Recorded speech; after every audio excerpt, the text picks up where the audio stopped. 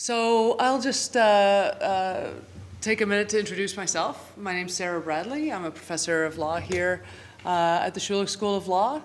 Um, I teach uh, mainly in the business law area. I teach corporations law, amongst a few other businessy sort of things. Um, my full profile is on the uh, on the uh, law school website. So if you have any further interest in finding out who I am, I'll, I'll leave it to your own resources to sort of check me out. But um, I'm going to be talking today about uh, the role of corporations in society. Uh, sort of a fairly broad uh, topic, um, one though that I think is of you know, sort of general interest to sort of uh, general to people uh, uh, from coming at the, the question from a variety of, of perspectives. So this logo you might recognize is from the uh, book and a subsequent movie of the same name called The Corporation, written by a, an alumnus of this, of this school, and quite an interesting read.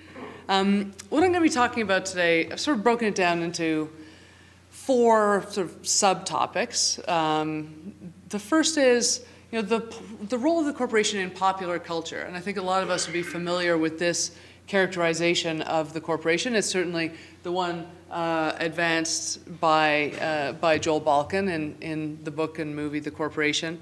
This idea that the corporation is somehow a corrupting or evil influence uh, and that, uh, and, and Joel Bakan's, I think, central idea was around this idea of if the corporation was a person, it would be uh, a psychopathic person. And how do we feel about that and, and, and whether that's an appropriate, appropriate perspective uh, or an appropriate um, way of characterizing it and, and, and how our regulations and the way we think about a corporation should be informed by that, by that reality.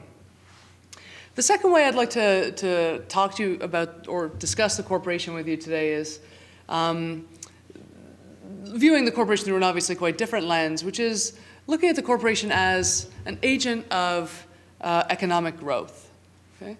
Uh, and as a really a unique sort of an instrument for the advancement of human prosperity. Uh, thirdly, um, looking at the corporation, and this sort of relates back to the first uh, characterization, but the corporation as sort of the, the scapegoat, if for want of a better word, or certainly um, a, uh, a, focus of criticism um, for uh, the, uh, the really the, the, the, more general problems of human greed and, uh, and capitalist market failures.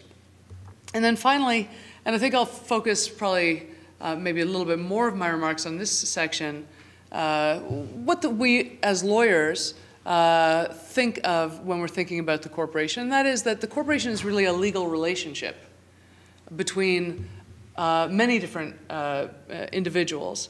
and, and when we think about it in that sense, we can probably get a little bit better informed idea of, um, of who is actually directing the behavior of corporations, what is likely to influence um, the behavior of corporations, and you know what these people are motivated by, what they are uh, influenced by, and what their responsibilities are.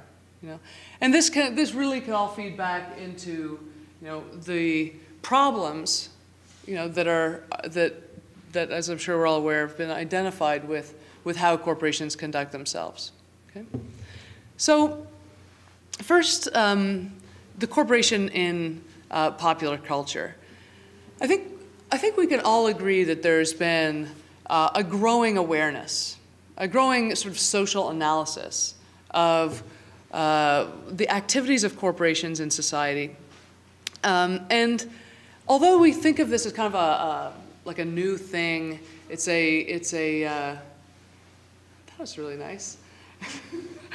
um, it's, uh, it, we think of this sort of a, an element of modern discourse.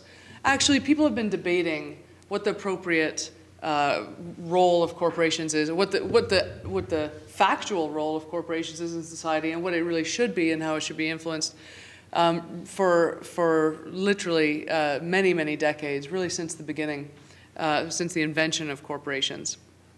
Um, and this, when we think about it in the modern context, we certainly would think of it as um, the corporate social responsibility movement.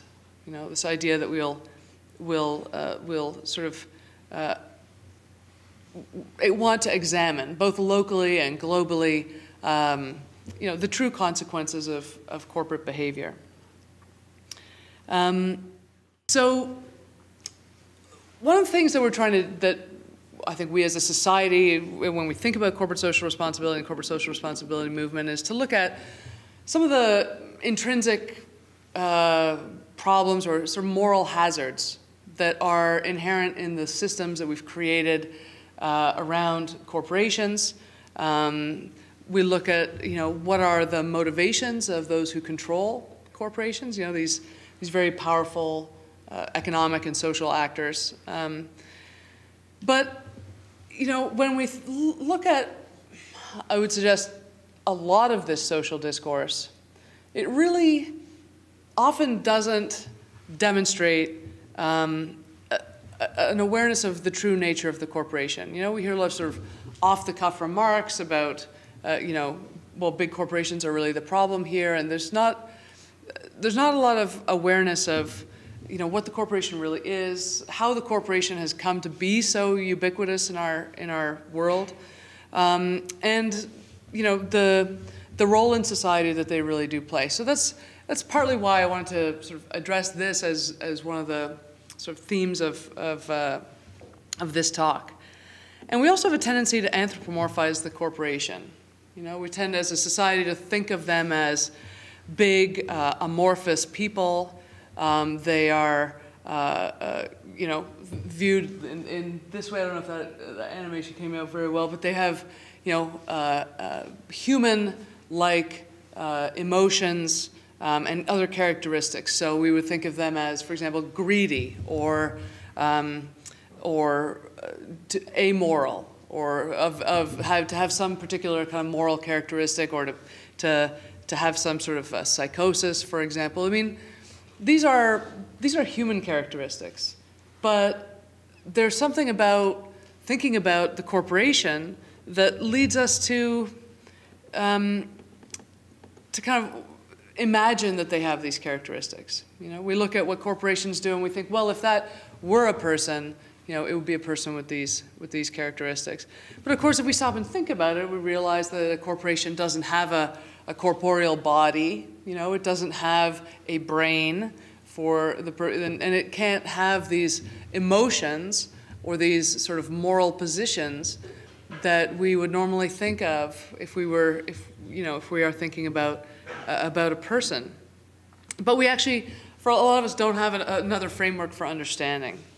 Um, so, so that's partly uh, why we'll, I'll be sort of looking at this today. And, and there, we also have, I think, in general, most of us have kind of a lack of understanding of the machinations of the gigantic global businesses that exist in the world around us.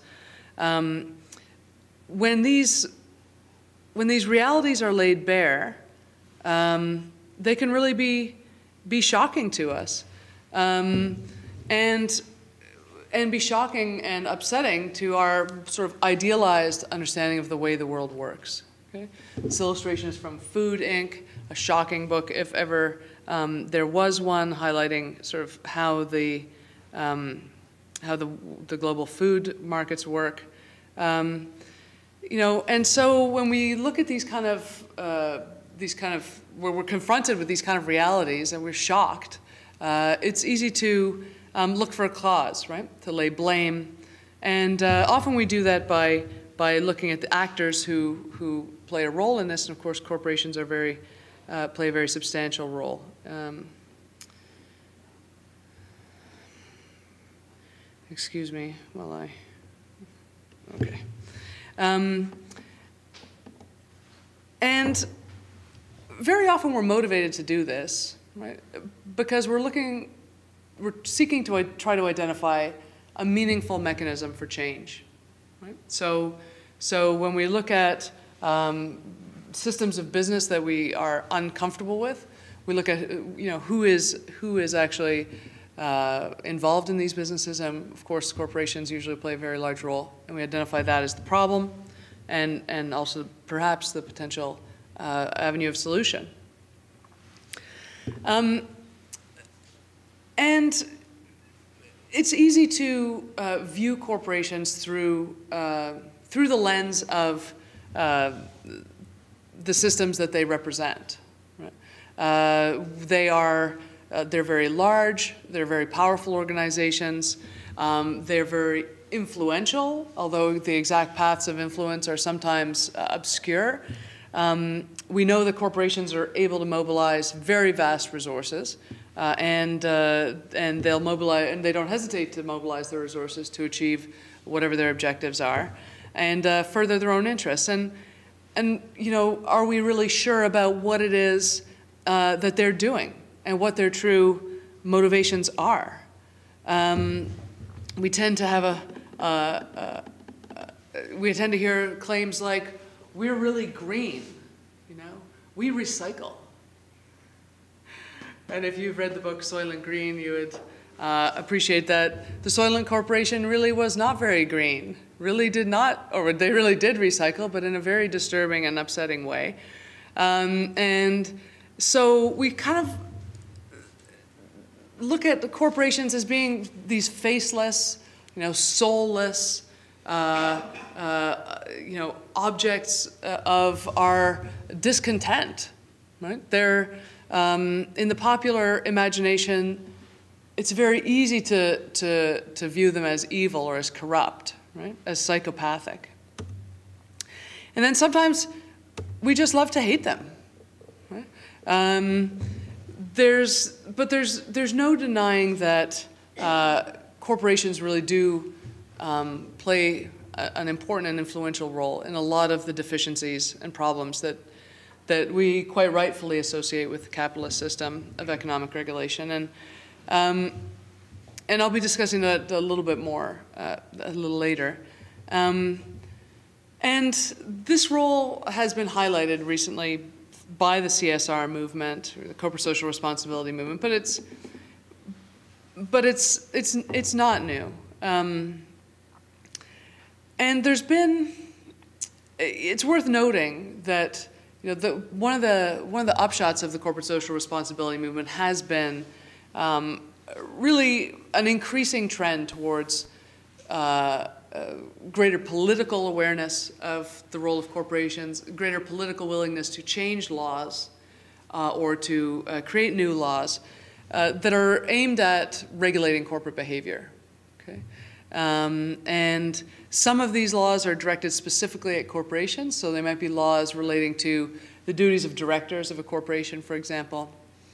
Or they may be more broadly based laws, laws relating to you know, environmental pollution and so on, that, that you know, would affect, would regulate any actor regardless of, of whether they're a corporation or not. Um, and th I think this responsiveness is important to observe right? Uh, you know, the legal systems, you know, in order to remain uh, relevant, uh, legal standards have to be updated to reflect modern sensibilities. Uh, as we're probably very well aware, they're not necessarily going to be updated um, uh, with exact precision, you know, to, to match precise uh, trends in, in public expectation, but, but in general, um, for a system of laws to be accepted, it needs to be, uh, to be responsive to the general, um, the general understanding of society. Uh, and also, uh, laws need to be updated as well to reflect modern business practices. And those, of course, change over time. So I'm going to spend some fairly, you know, significant time talking to you about the nitty gritty of what corporations are and how they operate. Um, but for the moment, I'd like to, to take a step back and, dis and discuss kind of the important role that they play uh, in our society uh, and in our world. So I'm going to put forward the idea that the corporation is actually um, one of humanity's most important inventions ever. So yes, more than the printing press, more important than the invention of vaccines, you know, I will say that the corporation is the most important human invention. Some of you may not agree with that characterization, but let me make the case okay, for why I, I, I think that might be true. Um, there's an absolutely positive correlation between, um, between human health and human income, uh, between human health and, and, income per capita. It's really one of the best known relationships um, in international development. Okay? So we know that human life expectancy, uh, general uh, measures of human health, child mortality, uh, and subjective reports of well-being, you know, are all all improved, you know, uh, on, in an almost linear relationship with with uh, with income per capita. Okay? So economic development has profound impacts on human well-being. And this reality uh, is a very powerful driver of political choice. Okay, so when governments are deciding uh, about you know social policy, when they're deciding about uh, business policy, when they're deciding about the enactment of laws and so on, and uh, treaties and all of that sort of thing, this reality whether we're talking about, you know, whether we're talking about a modern developed country or whether we're talking about a, uh, a developing country, um, you know, whether we're talking about a full-on capitalist society or a socialist society or, uh, or any, uh, anything in between or, or different than that, this reality is a really critical, um, a really critical uh, and influential um, one for, for decision makers and lawmakers. So, and so we have this underlying theme in business law. And the underlying theme is that business entrepreneurship is good, okay? Investment is desirable, and these are things that should be encouraged. Okay? And that is really, that sort of policy is not independent, right? It doesn't exist outside of, you know, the reality that I've just discussed about you know, how, how employment and, and income and so on are, are, are strongly correlated with, with, with human prosperity. Um, and, but this is a, this, there's another fundamental, um, fundamental assumption here that we make as a society, and that is that the wealth that is generated, uh, whether it's generated by corporations or by anyone, anyone else in society, uh, can be and is redistributed in accordance with political preference. Okay, so the basic idea is that uh, if the society, you know, uh, generates a greater uh, amount of wealth, that we can, and principally this is done through the process of taxation, we can uh, tax or take away money from one person or one group of people in society and we can give it to others, okay, in accordance with whatever we think is the appropriate uh, mode of doing that. We can use that system to, uh, to encourage certain behaviors. We can use it to discourage other behaviors. And, and certainly that's what, that's what governments around the world actually do. Okay, so now there are certainly, it's very easy to uh, identify flaws with this assumption or flaws with this, the way this, uh, this system of redistribution actually works. Okay, um, we just don't have the time today to really get into that. Uh, but obviously, it's, it's, it's something that, that is um, or can be identified as, as a problem. Okay? But in general, all societies do this. Okay? In general, all societies tax some people and, and redistribute wealth to, to some others. Um, and that's, that's an important component in understanding why you know, allowing uh, for economic activity in general or for some people in society is generally considered good um, for the society as a whole. So why were corporations invented? Uh, you know, I think we need to take a step back to look at where they came from. They're not necessarily that old. You know, uh, human culture and society certainly predates the invention of the corporation. Uh, they were um, the very, very earliest corporations uh, existed um, for the purpose of facilitating things like municipalities, uh, things like churches. You know, these were entities that were not human people, but that had some characteristics of a human person that they could own property, um, that they had an indefinite life, you know. Things like a, a church or, or, or a, a government uh, edifice like a, like a uh, municipality um, really had a need for those types of incidents of personality. And so they were amongst the very earliest, and that the earliest of those type of uh, legally recognized entities very is quite old, you know, probably uh, at least a thousand or more years old. In the more modern context, and thinking of it from a business perspective, you know, the very earliest corporations existed sort of, you know, in the early 1600s. They were created usually by the crown. Uh, they were um, created usually uh, for, um, for some specific uh, purpose, some very important social purpose, enough, important enough to attract the attention of the king or queen at the time. Um, later on, they became available through governments, so, but it still had to be an important enough purpose to attract the attention of the, the parliament. Um, but, uh, but we're generally talking about an invention of the last, you know, 400 years. Okay? The modern corporation that we really think of today really came into, uh, into existence or, uh, in sort of the mid 1800s. Okay? That's the kind of corporation where a group of people could get together with a business idea and reasonably expect to be able to incorporate a company. You know, prior to that, it was all special favors, and there were very, very few corporations. And so, um, and the reason that corporations were invented and were and flourished the way they did is because they're necessary, and I'll get into why this is. They're necessary to allow for large accumulations of capital, large accumulations of money. Okay uh, for, to, to, to undertake major infrastructure projects. Okay? Um, so the earliest corporations existed for the purpose of doing things like building railways, okay? building bridges, factories, roads, etc. Okay? All things that were deemed to have an important social purpose, whether it was because you know, the bridge was just necessary for the community, um, of course these were toll bridges, um, or whether it was because you know, the factories, the railways, and so on were deemed to be good for economic development. So think for a second about, you know, pre-corporation, right? How would one go about building a railway? You know, something phenomenally expensive. Okay, we're talking about, in modern terms, you know, billions of dollars. Okay, you have an idea. You know, this the steam locomotive has been invented, right? Someone has come up with the idea of you know send, shuttling it down steel tracks with this incredible power to transport a lot of machine, a lot of weight of goods and so on. Great idea. Somebody's got this idea.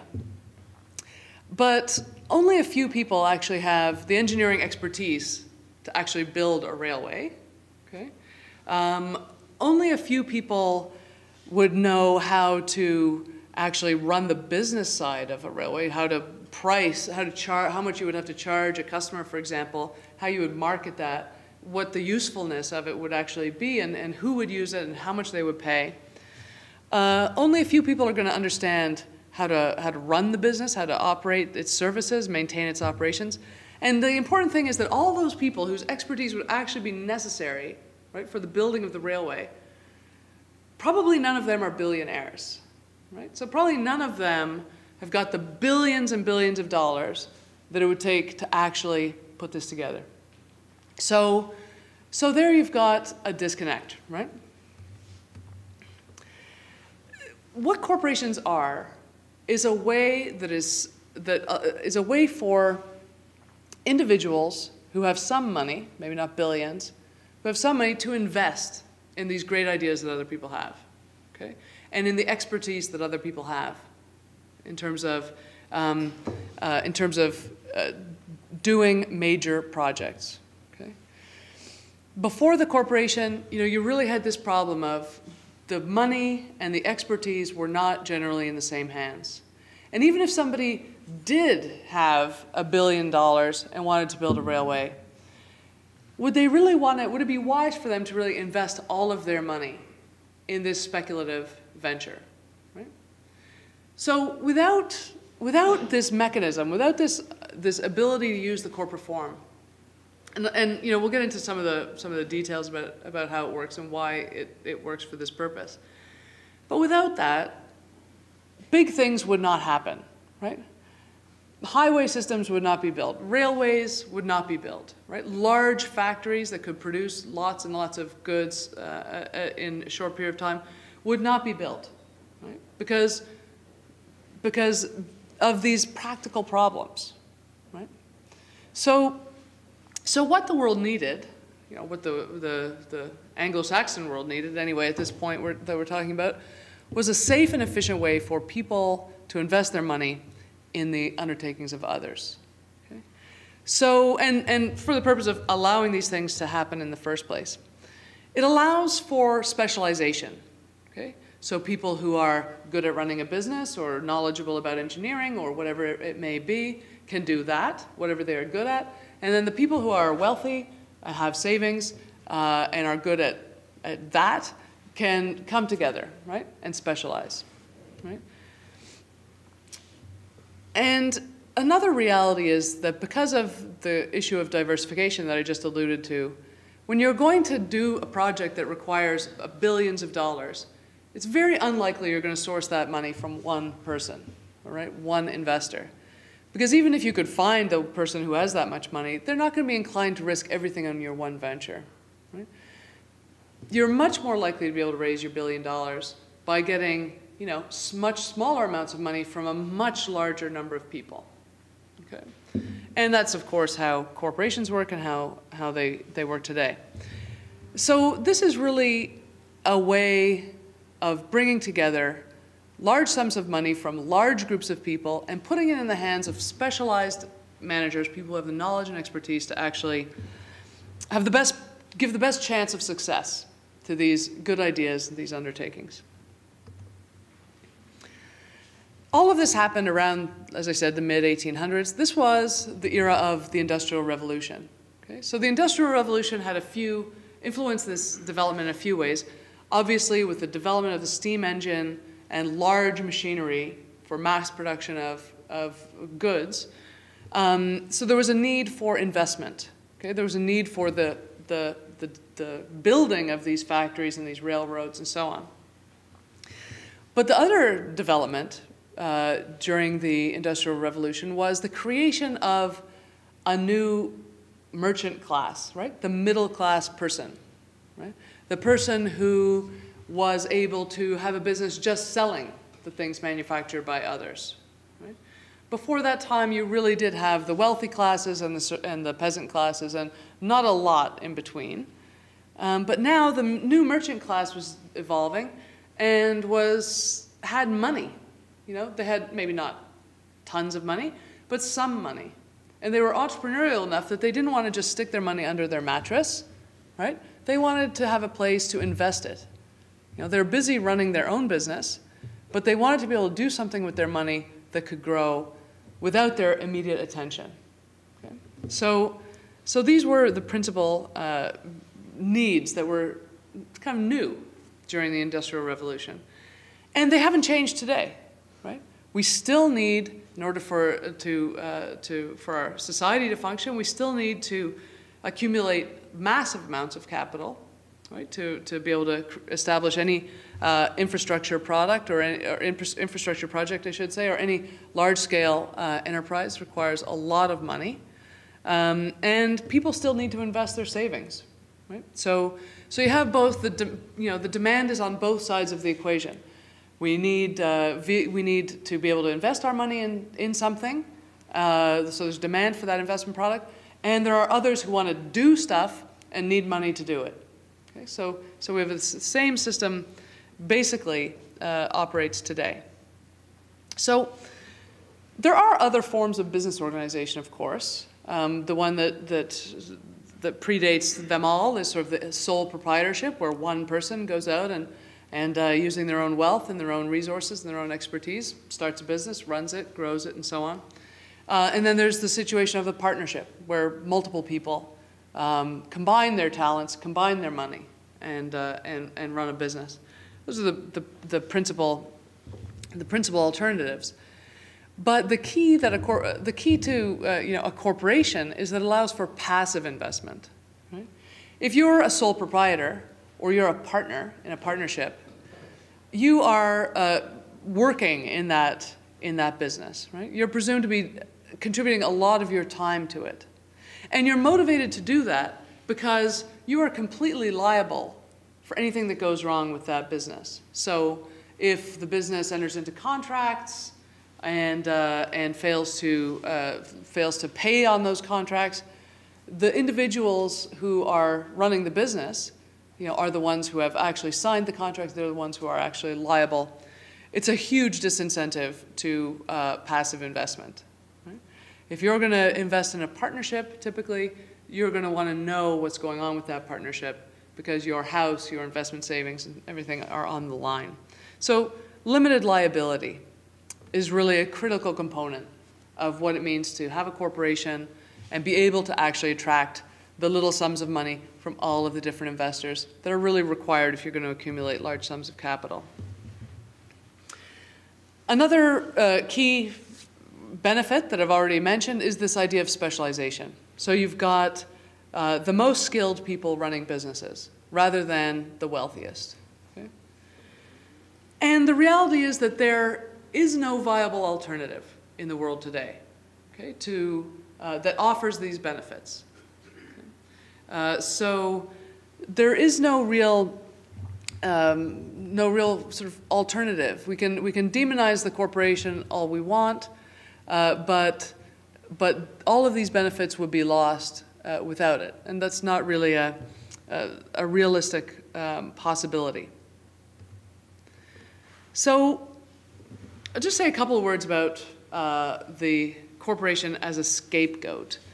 Um, there's no question that um, that corporations are inextricably interrelated with the capitalist system. Um, and uh, and corporations so are are are identified with the capitalist system, and and and probably rightly so. Um, and it also, you know, is not really very controversial to observe that there's a lot of problems uh, that have been associated with the capitalist system. Um, despite the general benefit of economic growth that I've already mentioned in terms of its you know, correlation with human uh, prosperity, there's a lot of what we could describe as market failures. You know, capitalism is based on markets, and there's a number of things that don't um, don't uh, uh, get accounted for in these markets, and and they're considered to be failures because it has a result that is undesirable um, to, to most of us, uh, or a result that violates our, our ethical understanding of social behavior. Okay? So, you know, these are natural consequences um, that arise when corporations are going about their business, um, pursuing their, their, their interests, uh, and they're just not properly accounted for. So an economist would say they're externalities, you know, that are that just don't somehow get um, that get incorporated, and they're they're flaws that um, that cause corporations to either engage in or to exacerbate uh, certain things. So you've got labor market issues, right? In a in a sort of unregulated market, you'll have problems of a corporation or any business, not necessarily a corporation, of course uh, using its economic leverage to extract excessive work hours from its workers, for example, or to, um, to hire child labor, okay, to allow an unsafe uh, workplace to exist, to uh, pay insufficient wages, depending on what their leverage actually is, or to, to, to ignore um, socially desirable things like pensions, for example. You know, all of those things are, are, could, be, could be identified as a, as a, as a labor market failure. Now, other obvious examples would include environmental degradation. Okay, so pollution of air and water, a huge, a huge externality, uh, easily identifiable um, and, uh, and, and, and amply identified, I think, in the modern world. Lots of examples of where um, corporations just don't have the uh, motivation to, um, to take care uh, of uh, not to degrade the environment. Um, similarly, uh, sort of poor resource stewardship, um, where you know uh, today's benefit is is valued more than some future resource extraction. Um, consumer protection is another huge area of capitalist market failure, uh, where unsafe products are sold, for example, damaging, poisonous products. Um, corporations are also renowned for their anti-democratic activities, mostly in uh, in other countries, but also in, uh, in, in this country in terms of uh, being very uh, willing to participate in things like bribery or uh, aiding governments in oppressive uh, activities, um, engaging in private military activity, all this sort of thing. You know, businesses tend to prefer stability, you know, and they're relatively agnostic about the source of that stability. You know, if it's, if it's, if it's, if it's a, a generated through a sort of respect for the rule of law, that's fine. If it's generated through, you know, oppressive uh, dictatorship, also fine as long as it's stable, right? So, so these are these are all problems um, that uh, that that can be can be identified, and and they violate our ideas about what is right, you know, what is what is socially desirable, and so in that sense, they're a failure. Um, you know, and they can also offend some of our notions about distributive justice. You know, this basic idea that those who sacrifice, you know, or who contribute should participate in the benefit that accrues.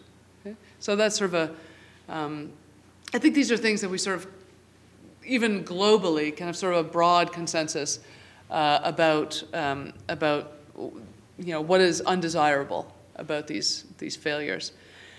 It's it's and I but I but the the heading is the corporation as scapegoat, and and that's because these failures are not new, right? They are they have been in existence uh, since um, the beginning of you know modern economies. Okay, all of these market failures have have have been identified many many centuries ago, and of course they're not unique to corporations either.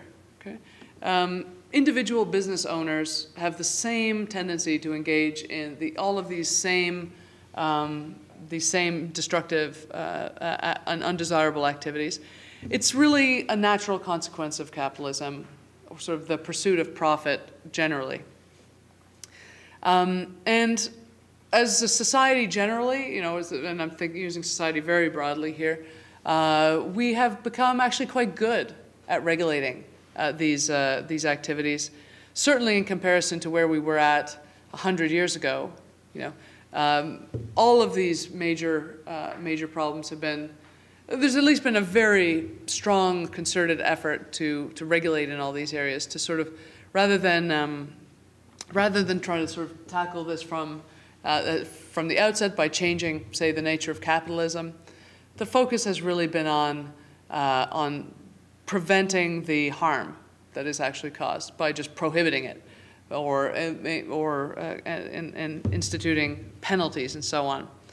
Um, and so we've really seen, um, we've seen a lot of effort put into like numerous, uh, numerous reforms around, around all of these areas. And so I want to spend a little bit of time talking about the effectiveness of these, of these reforms and so on. But before, I just want to say a little bit about the nature of the corporation. So the corporations are what we would say creatures of statute. Okay? They don't exist except that some legal documents say they exist. Right? So the parliament has passed laws that say, you know, in these circumstances, the, a corporation will exist. You know? That's where they come from. They don't have any sort of uh, other other existence. So they really are a creature of the statute. All of their powers that they have derives comes specifically from the statute under which they're incorporated. And one of the key features that uh, that these statutes provide for is this idea that the corporation is a separate legal entity. So here you've got all these separate little shareholders and investors. They're over here. Each of these is a person. You know? And then over here you've got the corporation another person, right? A separate legal entity. And what you have is money being transferred from the investors over to the corporation. And what the corporation gives the investors back is shares in itself, and these shares represent rights. The, what the rights that are transferred are the right to elect the directors of the corporation, the right to receive dividends in the corporation, and the right to receive the assets of the corporation or a proportionate share of the assets of the corporation when, when and if it ceases to exist. Shareholders are not liable for the debts and obligations of the corporation or any of its employees. Shareholders are not owners of the corporation. This is when you hear it's a you hear a lot, and it's it's easy to sort of, sort of um, make this analogy because shareholders have such a strong economic interest in the corporation and what the corporation owns. It's easy to imagine that they own the corporation, but as a separate legal person, nobody owns the corporation. The corporation is a separate person, and of course, people don't own people. Um, so, so it's not really correct at law to say that, that a shareholder owns a corporation. And what they're definitely not is owners of the corporation's property. Okay, so the corporation owns its own property, and the shareholders own shares in the corporation. So here's your typical structure. Here you've got all the shareholders. These are in one box, but of course they're all individual people. Their main right, aside from their economic rights, is to elect another group of people, a much smaller group of people, usually, and that's the board of directors. The board of directors' role is to appoint and oversee the managers of the corporation. So this would be the CEO, the whoever is actually the main, the main employees of the company. So your officers, your your CEO, CFO, etc. Those people would all be specifically appointed by the board of directors, and they report to the board of directors. These people may, depending on the size of the business or, or, what's going on in the corporation, they might hire and oversee the activities of all the other employees of the corporation. Okay? And then over here, not connected to that chain of sort of power, are other stakeholders. And I'm not standing close enough to the mic, am I already? Okay. I promise not to walk too far away from it. So you've got the other stakeholders. These are the employees of the corporation who are not managers. They are the creditors of the, of the corporation, those who've lent, lent money to it. Uh, the community in which the corporation exists, the country in which it exists, the other third parties. Right? Those, those sort of other stakeholders are not uh, although they're very strongly influenced uh, by what the corporation does, they're not uh, actually linked into its internal power structure. So shareholders, um, who are they? In the real world, in the modern society, 70% of shares of, of, publicly traded companies, anyway, are owned by institutional investors. Okay? So your typical company that's a public company or that is listed on a stock exchange um, they are mostly owned by pension funds, mutual funds, uh, and other institutional investors. Okay? They have the power to elect the directors. Okay? And they, one sort of might think that they have a supervisor, in the, in the sense that they are the electors of the directors, I think that they at least have a, some sort of supervisory capacity. But in fact, this supervisory capacity is often not really uh, exercised. Um, in widely held corporations, there's a problem of disaggregation, you know, where uh, most people uh, who are shareholders are not that interested in, in sort of getting involved in how the corporation is actually run. They're much more interested in how the share valuation is performing and uh, how much the company is making. And if the company is not living up to whatever benchmarks they, they would like to see, uh, they have a tendency to just sell their shares. Okay? Maybe sell them at a lower price than they otherwise would because they're not happy. But they tend not to involve themselves in, in, in what's actually going on inside the corporation. Um, and this is a rational response, right? Because they only own, you know, 0.003% of the, of the shares of the company. So why should they go out and lobby hard to, to, for the, to make sure that the directors and the managers are doing a better job, you know, so that everybody else would benefit, you know, more so than them? They're only going to get, if they do manage to get some, uh, some, some uh, meaningful change that results in better evaluation for the company, they're only going to experience, they're only going to benefit from a very small amount of it. And also, they probably, if they're like most investors, they probably have little holdings of shares in zillions of different corporations. Okay, so it's not a good investment of their time to figure out what's going on inside these corporations and get involved. That has changed a little bit with the increasing trend towards uh, institutional investor involvement. Now, when you hear talk about shareholders being activist or getting involved in the running of the corporation or trying to lobby for change, it's usually an institutional investor. Okay, that, and, and they've been more willing in recent years to get to get involved, although it's still it's still not a, a very effective necessarily means of overseeing what the board of directors does. The motivation of the shareholders almost always is profit. Okay, so um, there may be some exceptions. I'm sure we can think of, you know, certain exceptions. There are some ethical funds, for example. Um, there are some institutional investors that are motivated specifically by certain uh, ideological um, perspectives. So, for example, the California Public Employees uh, uh, uh, uh Retirement Fund, CalPERS, uh, is a huge institutional investor, one of the biggest institutional investors in North America. Uh, it has a specifically pro-union position. Okay, so it will use its power and influence to um, to try to get the boards of directors to um, to respect uh, the unions and their employment. So not even if that costs money. So there are some exceptions to the to the profit motive, but they're the exception rather than the rule. And then we're down to the next sort of level of authority within the corporation, and that's the directors. The directors are um, generally uh, employed on a part-time basis by the corporation. A typical schedule would be for uh, directors to meet uh, four times a year. Okay. In some corporations, some very large corporations, directors will meet somewhat more often than that. Uh, even in the very largest, most complex organizations, they would not meet more than once a month. Okay, so 12 meetings a year. Um, and they tend to be uh, experts, uh, influential uh, people who are, are experts in running of a business or in some aspect of running of a business. They are generally uh, very uh, uh, um, well regarded people in their industry. And they're, they're chosen to be a director because of their success in some other business. Okay? And they're chosen for their business expertise the directors are expected to do basically two things. They're expected to make sure that the managers are doing what they're supposed to do.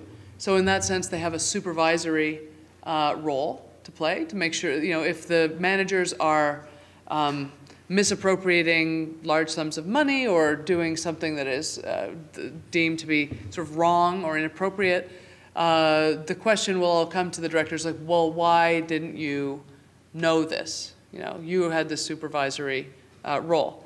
Now, given that they meet four times a year uh, and, and, to hear presentations by the senior managers, this is not necessarily a very high standard to which they're, they're held.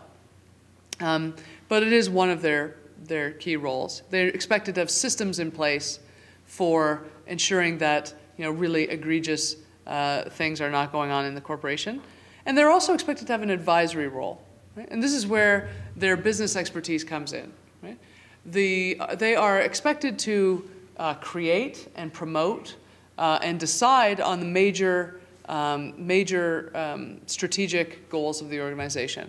Okay, so they decide what major uh, uh, path the corporation is going to go on, they, and they delegate to the managers um, the actual carrying out of that strategy. Um, so as I mentioned, their supervisory capacity is sort of limited by practical uh, realities, by their, their, their relatively small time commitment and their, um, the, influence, the strong influence that managers have over the, over the information that directors receive. What they're motivated by, typically, is uh, not money. Okay? Directors, in general, are tend to be quite wealthy uh, individuals to begin with. They tend to be uh, uh, quite successful, um, although they are paid usually, you know, ten, twenty, thirty thousand dollars a year for sort of a typical public company board. Uh, for the people who are generally uh, given these positions, that's not actually a lot of money. So, so it's not really a financial, um, a financial motivation. More likely, it's, they care about their reputation. These are prestigious positions. Uh, they are, it gives them a, a chance to um, sort of not socialize, but, but spend time uh, with uh, people who are also of, uh, of, of, high stature and, and interested in similar things. And in some cases, they may view this as a public service, right? As a way of contributing their, their knowledge and skills to another organization. And then you've got the managers. The managers at this bottom level are the people who show up to work nine to five uh, every day at this company. Okay? These are the people, the directors delegates to them, uh, here's our broad strategic direction, now carry it out and report back, right? And then the managers show up, they uh, run the, uh, the company, they make every day-to-day -day decision, they might hire and fire the employees of the company, um, and they're motivated typically by their own self-interest. You know, this is uh, something that we would normally assume uh, for thinking, you know, in an economic sense, people generally act in their own self-interest. And their interests are um, low risk, they don't want to lose their jobs, they're making a big personal investment in this, in this corporation. Um, so they, they, they don't want much risk. They prefer generally to um, fly business class rather than uh, economy. They would rather have a big office rather than a small office. So there's a certain amount of what we think of as like gold plating, right? They prefer perks as opposed to no perks. Um, and they also prefer uh, empire building, right? These are the CEO of a company. It's generally more prestigious and more meaningful for that person to be the CEO of a really big company as compared to the CEO of sort of a moderately sized company. So there's a tendency um, to prefer growth, right, for the people who are running uh, running corporations, and and this can be uh, this can off, can sometimes lead to sort of uh, inappropriate business decisions. Okay, so and this is a problem because the managers are really investing the money of the shareholders, right? If we follow up the chain, we're not seeing like a direct correlation between the motivation of all of these different groups of people. So the legal response to this problem of self-interest on the part of managers um, and the related problem of no supervision uh, is to impose on directors and managers a duty, uh, a, a, duty to act in the best interest of the corporation. And this duty is uh, something that uh, can always be challenged you know, if, if it's felt that a director or manager is not, not fulfilling this duty, not acting in the best interest of the corporation, then shareholders or sometimes creditors can go to court and, uh, and make that claim that the directors are not fulfilling this duty and get some relief, right? Various kinds of relief from the court. Um, the recourse for the other constituencies, those third parties out there that are affected by the corporation, uh, but not actually uh, a part of the power structure of the corporation is a lot more limited. Okay? So what can employees do if they're not happy with the way the corporation is being run? You know, if it's being run for the benefit of the managers and not, not, not the corporation itself. Or what can the community do? What can the environment, you know, the broader community, what, the, these, if they're being damaged, these constituencies really don't have any legal means of recourse. Okay? And this is why we have regulation in these areas. Okay? So there's a couple more concepts that I just want to mention. Um, and the first is this idea of the corporation as a person. You know, this is something where it's probably very common knowledge. Everybody knows that the corpora uh, corporation is a person.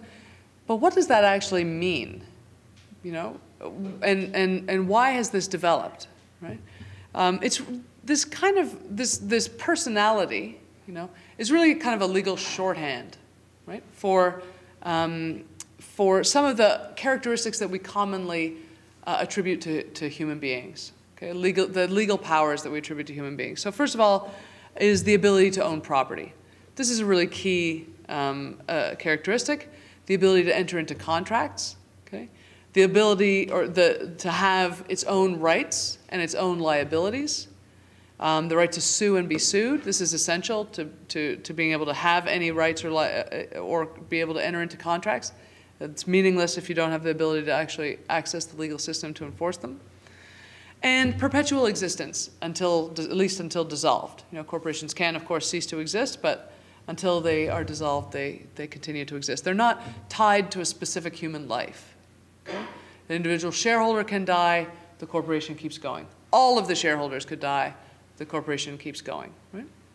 And so these are, these are really the inherent characteristics that a person has uh, in our legal system uh, that a human person has that also are shared by a corporation.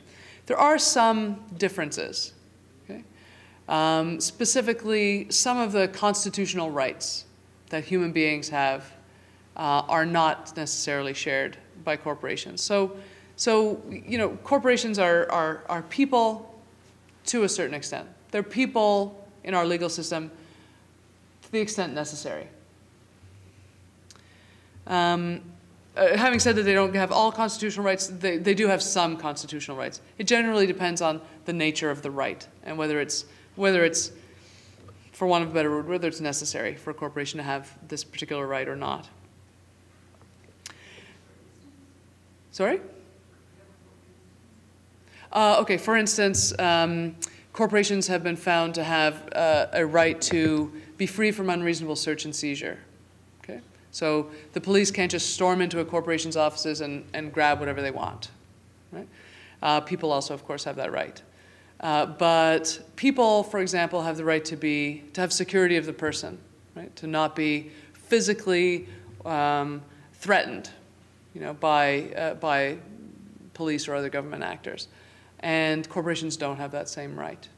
You know, so so it really depends on whether it's something that actually you know makes sense for, for, for given the fact that it, of what a corporation is. Um, so there are situations also where a corporate personality is disregarded by the courts. Okay? Um, and sometimes the people behind the corporation are actually found to be liable for what the corporation has done. Right? And that's the, the, the, the, the situations where that might occur is where there's a fraud. You know, the people have created the corporation and gone about used it for the purposes of carrying on a fraud. In that case, the court will just say, yes, there's the corporation that has a personality, it's a separate legal entity and everything, but we're just going to ignore that because you have used this to create to perpetrate a fraud on another person. Uh, in the case of torts, uh, certain torts, that's where somebody has been injured, um, either economically or physically, by the activities of a corporation, depending on who the human actor actually is who, who, uh, who perpetrated the tort, uh, the corporate personality can be ignored. In some cases of a corporation being very, very minimally financed and then taking on extremely risky, uh, extremely high liability activities, um, that's in some situations the courts have disregarded the corporate entity and, and found the human people behind it to be liable. Or in some cases where it's a public policy issue you know, um, or where there's been non-arm's length transactions where you could really sort of similar to the, the idea of fraud, but where economically there's no distinguishing between, between the human person and the corporation. And as I said, we have, do have this tendency to anthropomorphize corporations. But having, having gone through that description now uh, of the legal uh, characteristics of a corporation, you know, hopefully that casts a little bit more uh, context in terms of whether we think that a corporation can really be greedy or sociopathic or you know, have other human characteristics, the way that some commentators would suggest. You know? um, really what we have is a constellation of human actors, right? each with their own series, set of motivations and, and, and excuse me, and characteristics.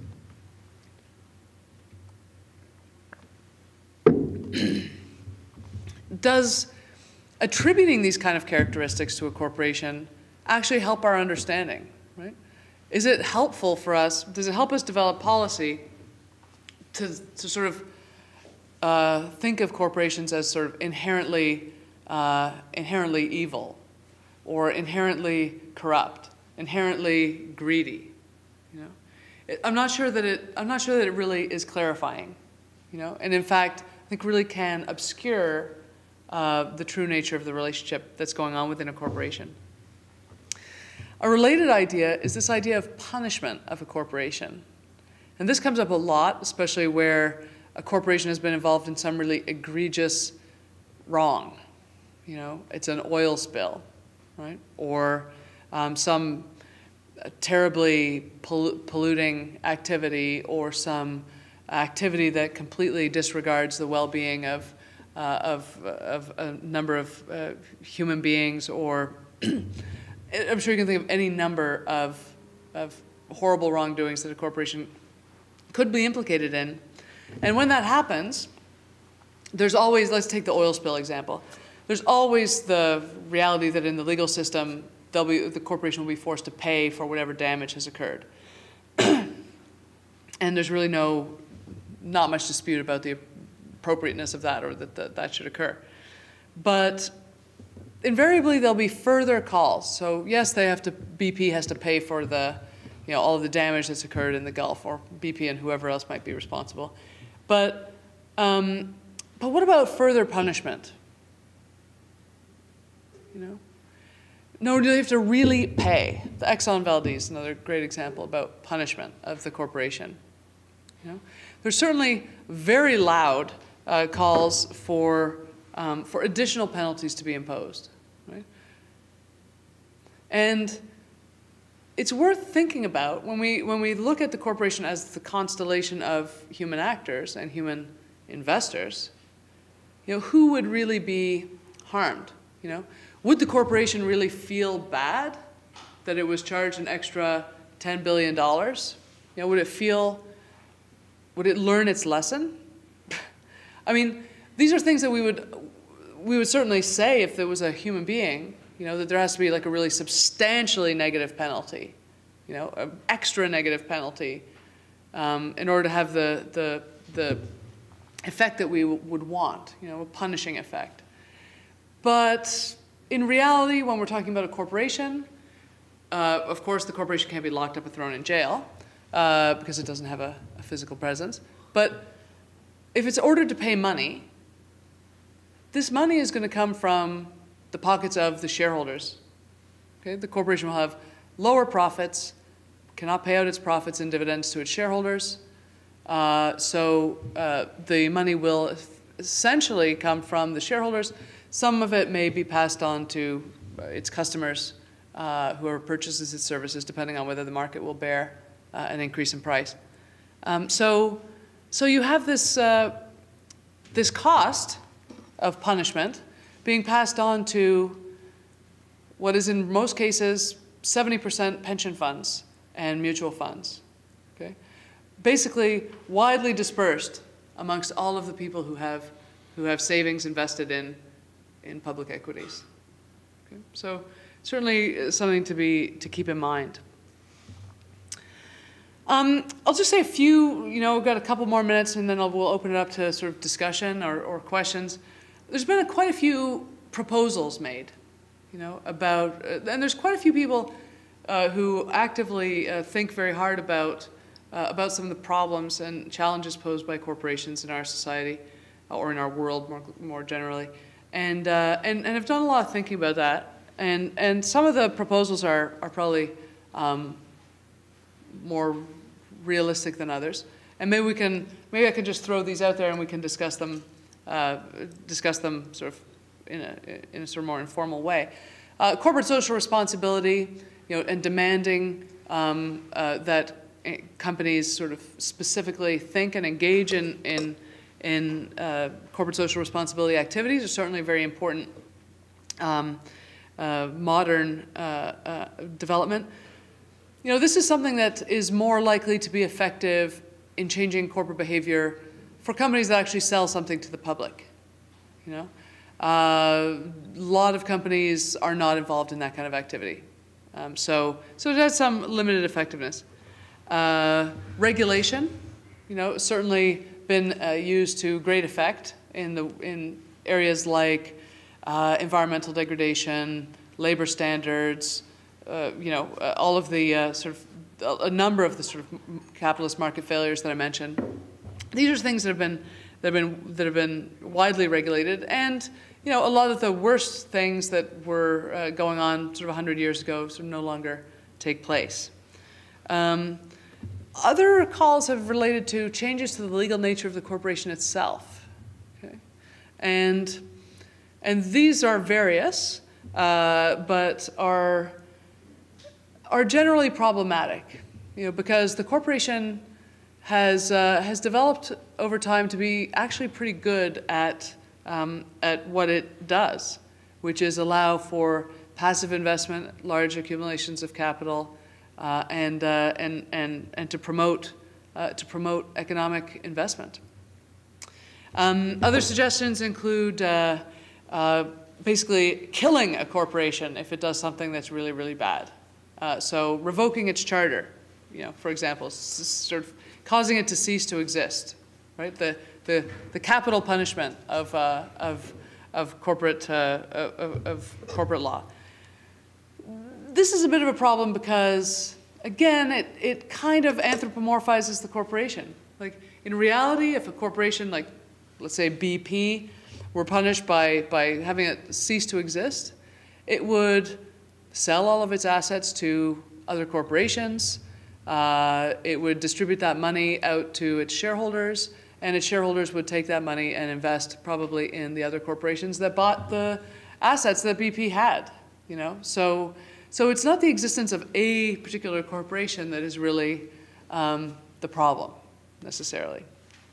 Um, another would be to exclude or somehow expel unwanted corporations from certain activities. This is something that actually might be workable if, for example, uh, a corporation was prohibited from engaging in, in certain market sectors because of past bad behavior, um, that would definitely have a, a, negative effect on it. It would cause its investors to, you know, maybe go and invest in other corporations uh, that, uh, that did do, uh, that did engage in the particular activity. So that might actually have the effect of sort of channeling, channeling behavior. Um, taking away limited liability is one you hear quite a bit uh, where the idea is to make directors or managers or even shareholders uh, liable for either for all of the activities of the corporation, that's usually a bit extreme, or for certain really, really bad things. Um, uh, again, defining that or making investment risky for people is, is a problem. It'll inhibit, it'll inhibit investment. Um, eliminating the idea of uh, corporate personality. You know, I'm not sure I think this is, for the most part, um, um, sort of a, not a very well informed suggestion, mainly because, you know, what are you going to take away? The ability to own property, you know, the ability to be sued and be sued. I mean, these are these are critical uh, uh, things for a corporate existence, right? They're they're sort of they can't really be extracted. I mean, that would just mean not having corporations anymore, really. Um, or putting a stop to constitutional claims. Depending on the nature of the constitutional claim, and of course in different countries there's different types of constitutional claim, you know, that might have some, there may be some constitutional claims that are, that are, you know, they wouldn't have any real significant consequence if corporations weren't allowed to make them. So, um, so that, that's a possibility. Um, removing corporations from politics and from political lobbying. This is particularly, you hear this much more so in the US context, and, uh, and probably a very uh, useful suggestion. Uh, and reform of corporate lobbying, a related suggestion, you know, to say, well, you know, we need to, to sort of consider what's going on in our political process, you know, and how corporations are, uh, because they're unlike regular people, unlike regular citizens of the country, they have vast resources at their disposal, and they're able to, to uh, they're able to apply leverage to, to governments in terms of their ability to create jobs and so on. Right? So, so there does, I, I think, perhaps need to be some focus on, on this particular area.